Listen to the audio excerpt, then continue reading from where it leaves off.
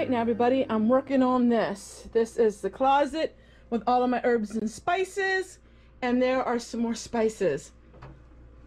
I got the first part of the kitchen done and now this is the overwhelming part because I got to organize everything here. This is what I call another hot Hi everybody and welcome to my channel. Today is week two of a major cleanup. As you seen in last week's video we cleaned the whole kitchen and all the cupboards. Today I have a real mess. I have a lot of stuff I have to work on. I actually started working on these shelves in this closet. So now I'm taking a full inventory of everything that I have as far as food wise. And you seen last week, if you missed that video, please go ahead and watch it above me and I'll share it at the end of this video because that was a real special video. Our son came and helped and it was just so much work. Now I have all of this here. And so I cleaned all them out brought any spices or any dehydrated foods, rice and beans and all of that, brought it here.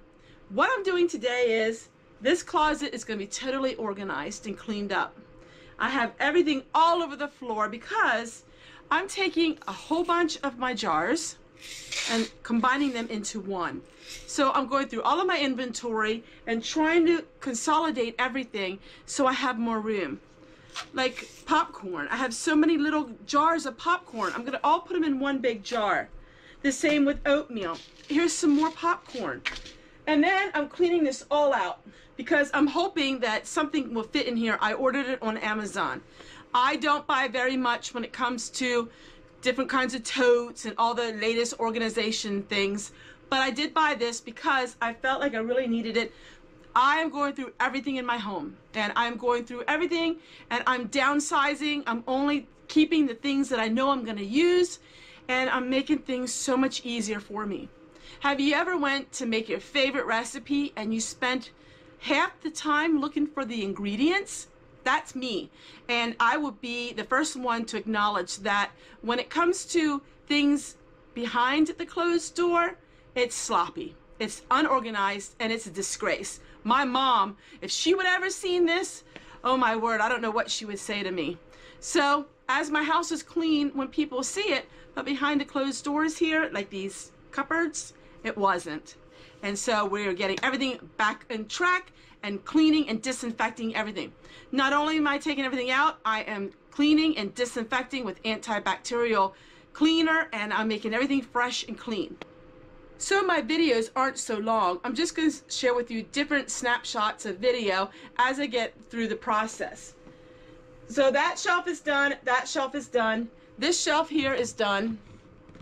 All of these shelves here done. And you can see where I stopped. And now I'm working on this shelf. So we're putting everything together. All the breadcrumbs go together. I have cornstarch, which I have another one of cornstarch. I mean, that's what I have. And I need to put everything together and make it into smaller amounts. All right, everybody. It is exhausting doing this. I never realized how tiring it was to do this. When I worked on my kitchen, I was so tired. And the older you get, I can see the older you get, the more organized you want to be because it's so much easier to live an organized life than to have such chaos.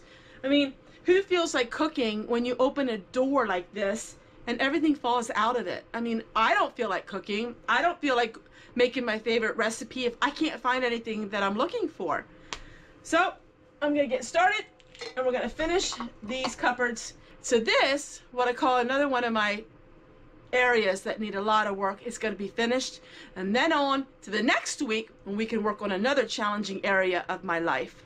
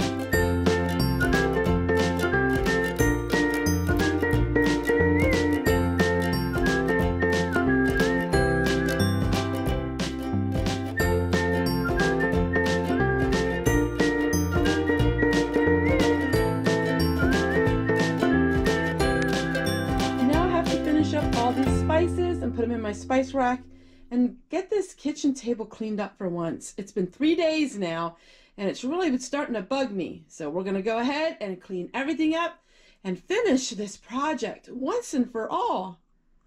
So in my quest to organize my home a little bit more, today we're going to work on spices. Now, as you know, I went through all of my cupboards and cleaned everything out. I didn't share with you yet, but this is what I bought myself for Christmas. Now, I think it's so unique, but there's a story behind it. When we were first married, I got one of these for a wedding gift, and I loved it. But through the years and the multiple moves that we made, I somehow got rid of it. And I'm all about nostalgia these days. I'm all about having things that I had when I was younger. I know, but it's going to help me with organizing, and it's going to help me to have a very easy access to my spices and things when I'm cooking. So I have all kinds of spices in jars like these. I'm hoping to downsize all of these jars. Downsize everything and have it more at an area where I can have it designated to that and I can find it really quickly. I'm starting to turn out like my mother-in-law and let me explain to you why. My mother-in-law had so much stuff she had so much food stuff and what happened was she didn't know where everything was so when she would go to the grocery store she'd pick up another one and another one and another one. Before you knew it she had five of the same thing. I used to organize her cupboards and I enjoyed doing that and I would put everything at the same together. And she couldn't believe how many ketchups she had how many mustards she had.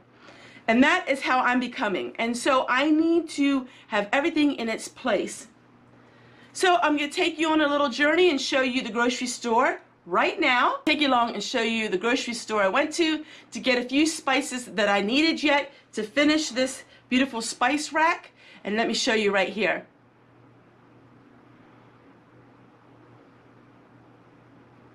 So the Dollar Tree is a great place to buy your spices if you need anything like that. Dollar Tree has so much and I've got the chives that I needed. I have my own chives hydrated and I have them in a mix with mushrooms and onions and I use that when I'm making different kinds of stews. So I really wanted plain chives. So we're going to go ahead. I'm to put all of these in their beautiful little glass jars. And I'll share with you in a link below if I can find it to this one. This one was really hard to find but I wanted this one because this is the exact one I had in 1988. And you can buy them brand new, but they're a little hard to find. All right, everyone, so let's get putting them in our jars and having everything cleaned up nicely, organized. Organization, my friends, is the key. And now's the time to do it before it gets really warm outside and then we're focused on outside projects.